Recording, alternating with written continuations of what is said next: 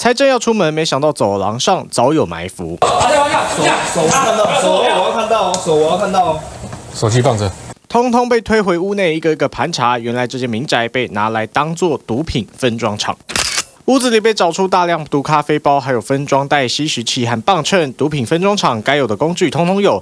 他们为了躲避警方追缉，花招百出。三十二岁李姓主嫌带着翁姓妻子和一名朋友，每个月花两万五租下豪宅七楼套房，分装毒品卖给下游。平时开车出门送货，为了躲警察，都挂着假车牌上路，号码还特地用六六六六讨吉利。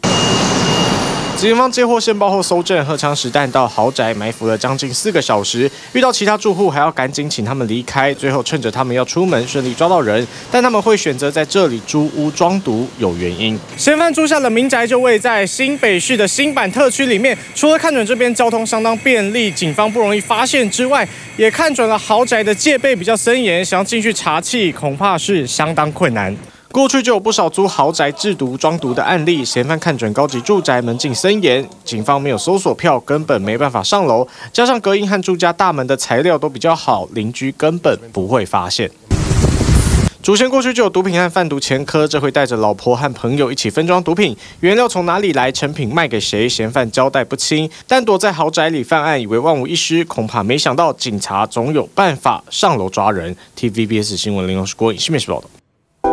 想看最完整的新闻内容，记得下载 TVBS 新闻网 APP。